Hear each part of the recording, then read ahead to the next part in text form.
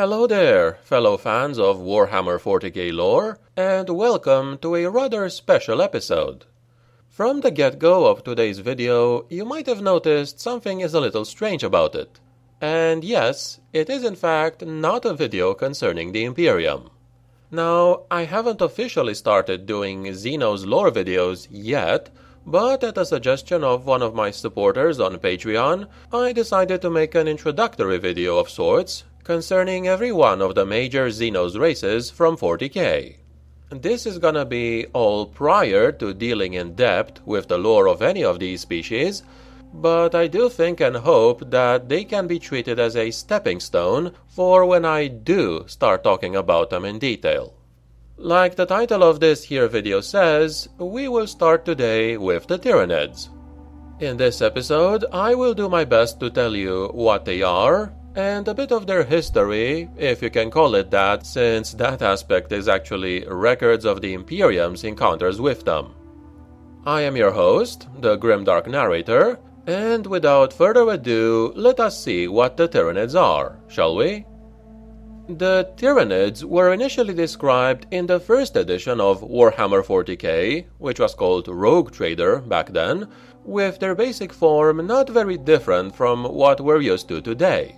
Their only additional troop type was an enslaved alien race called the Zoat.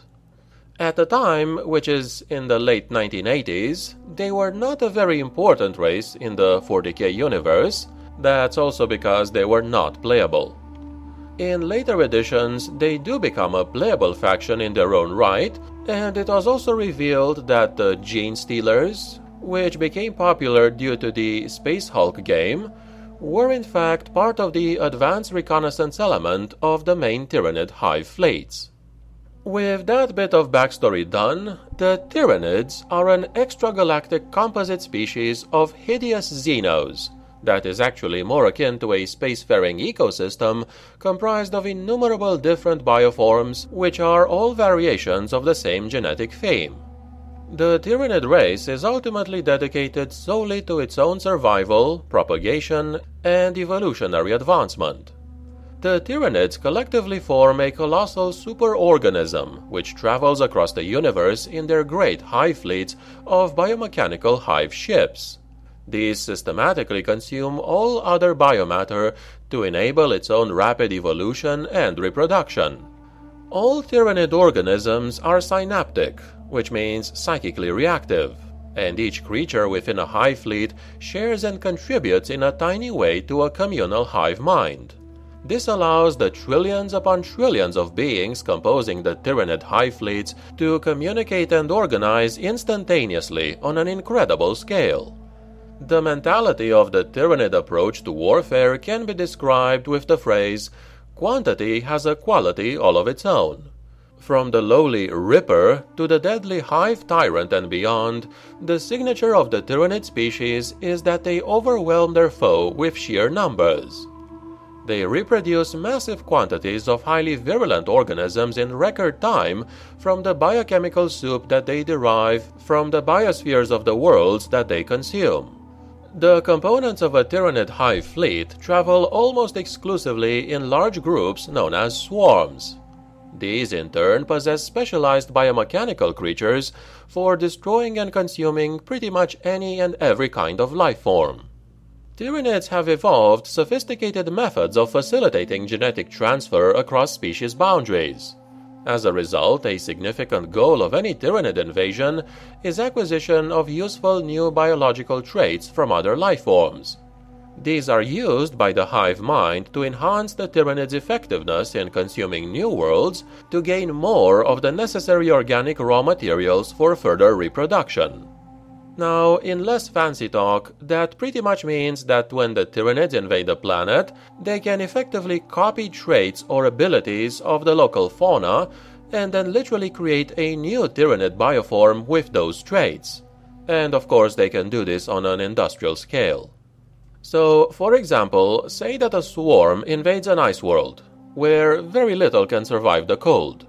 And let's say that there's a race of space bears that thrives in that environment because its biology evolved over millions of years to help it survive that harsh climate. So, when the Tyranid horde consumes those space bears, it can absorb and mutate the genetic traits which allows them to easily survive the cold. The first wave of Tyranids would easily die when attacking such a world, precisely because of that cold. By the time the third wave, let's say, is launched, then a lot of the creatures will have already adapted and would not only be able to survive more easily on the planet, but they would actually have an advantage over any defenders. And these creatures can do this in literally any environment as long as they have biomass.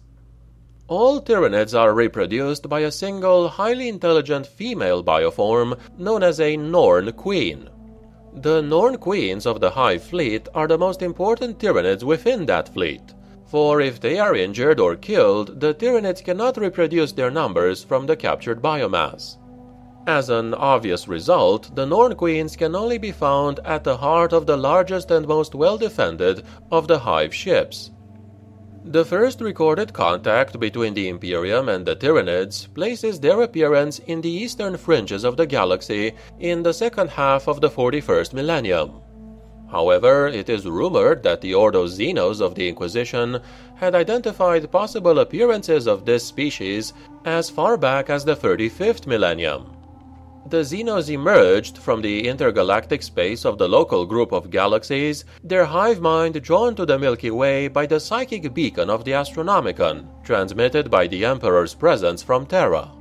The first officially recorded contact with the Tyranids for the Imperium of Man came during a Tyranid attack on an ocean world called Tyran, and from there, Hive Fleet Behemoth continued directly towards the center of the galaxy consuming all the worlds in its path.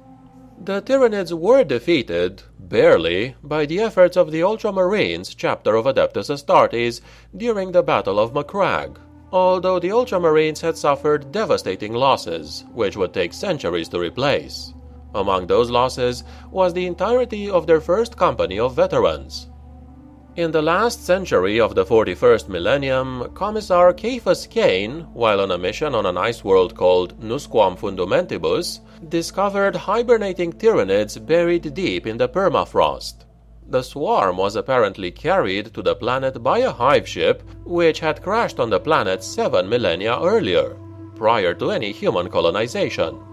Members of the swarm and subsequently the hive mind were awakened, but this swarm was eventually defeated. However, the Inquisition was very unsettled by the fact that the Tyranids had developed a presence in the galaxy possibly predating even the start of the Imperium. It is not known whether the crashed bioship was on a scouting mission when it was lost, was a casualty in a pre Imperium Tyranid invasion that was defeated by unknown adversaries, or part of a plan by a Tyranid superintelligence that may have seeded many worlds of our galaxy with such sleeper hordes. Towards the very end of the 41st millennium, the Tyranids returned to the galaxy with Hive Fleet Kraken, which instead of assaulting its targets as a single massed Hive Fleet, split into countless smaller fleets, each one enveloping a whole star system before reinforcements could arrive. The brunt of this new attack was borne by the Space Marine chapters known as the Scythes of the Emperor and the Lamenters chapters. The Scythes of the Emperor were almost completely destroyed in the wake of this event. Though the backbone of the Hive Fleet was broken by its defeats at the Battle of Icar IV, and at the Eldar craftworld Iyanden, the cost to the Imperium was still great, and many splinter fleets broke off from the Kraken to later wreak havoc deep within Imperial space, some even reaching the fringes of the Tau Empire. But they are filthy Xenos, so nobody cares about them. Only a few years later, Hive Fleet Leviathan unexpectedly appeared from below the plane of the galaxy and attacked from two points, cutting off large portions of the galaxy from reinforcement. Just as it seemed the defenses of the Segmentum Solar and perhaps Terra itself would be tested, the Tyranids were distracted by being deflected into the star system of a powerful Ork empire. While the orks are managing to stall the main advance of this Tyranid fleet, they are likely to re-emerge from these battles, vicious and stronger than ever, after having absorbed potent orkoid genetic material into their own genetic pool. Tyranid hive fleets travel through space by using the aforementioned hive ships, which are essentially gigantic biomechanical organisms genetically engineered to travel through a vacuum. These hive ships move in gigantic formations which can be likened to very large swarms of locusts. Typically, Tyranid hive fleets move in ad hoc formations known as tendrils. They migrate to nearby inhabited planets after consuming all the biological and organic material on a recently invaded planet. Through this cycle, they can multiply several times over, often reproducing many times their original number.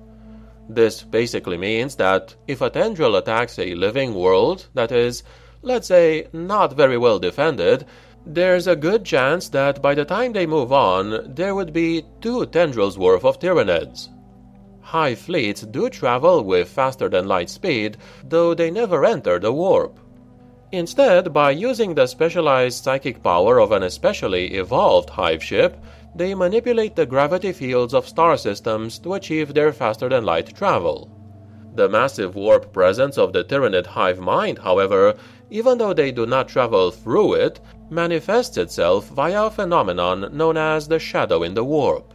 The current collection of Tyranid hive fleets have migrated to the Milky Way galaxy, presumably after overpopulating or overfeeding in the nearby galaxies of the local group. Given that each Tyranid hive fleet has approached the Milky Way from a different galactic direction, this may imply that the Tyranids have consumed a disturbingly large number of different nearby galaxies. And on that ominous tone, I will end my introductory video on the scary, chittering Tyranids. I honestly hope you learned something from this introductory video, and that I didn't burden you with too much information. I do have to admit that I am not very good at making introductory videos for broader topics. With Imperial topics, it is easier because most of them are specialized into factions and different military branches. Like I said, I will also be doing introductory videos for the Eldar, the Orks, the Necrons, and so on. I cannot say exactly when that is gonna happen, but they are coming sooner rather than later. If you have any thoughts or questions regarding today's video, as always feel free to put them in the comments below. Please remember to leave a like and subscribe if you enjoyed the video. And if you'd like to support my lore video making activities, please check my Patreon page. The link is in the video description, where even a couple of dollars a month can make a difference to me. I thank you kindly for watching, and I will see you next time. The Emperor protects.